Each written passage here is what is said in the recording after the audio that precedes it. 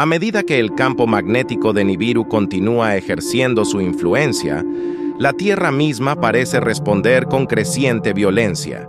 El planeta, que alguna vez fue un hogar estable y acogedor, se convirtió en un caldero de agitación geológica y atmosférica.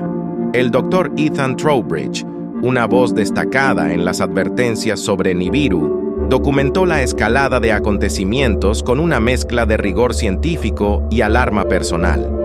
Los primeros signos de la furia de Nibiru se sintieron en lo profundo de la corteza terrestre.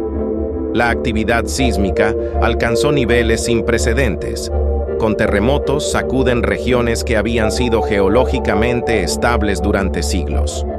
Los volcanes que habían estado inactivos durante milenios volvieron a la vida con un rugido.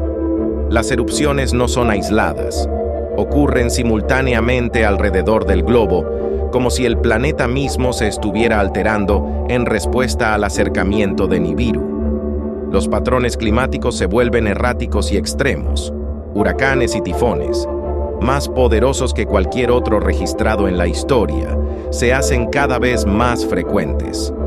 Los tornados arrasan incluso el corazón de Estados Unidos, dejando estelas de devastación.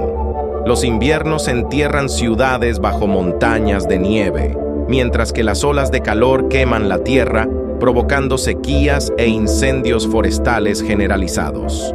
El doctor Trowbridge y su equipo trabajan incansablemente para comprender las conexiones entre el campo magnético de Nibiru y estas perturbaciones atmosféricas. Los datos son claros. La influencia de Nibiru está alterando el equilibrio magnético de la Tierra, provocando anomalías en los patrones climáticos y amplificando los desastres naturales. El Dr. Trowbridge, consciente de estos esfuerzos, continúa difundiendo información a través de todos los medios posibles y colabora con otros científicos, activistas y medios independientes para mantener al público informado. La batalla por la verdad se vuelve tan crucial como la lucha por la supervivencia.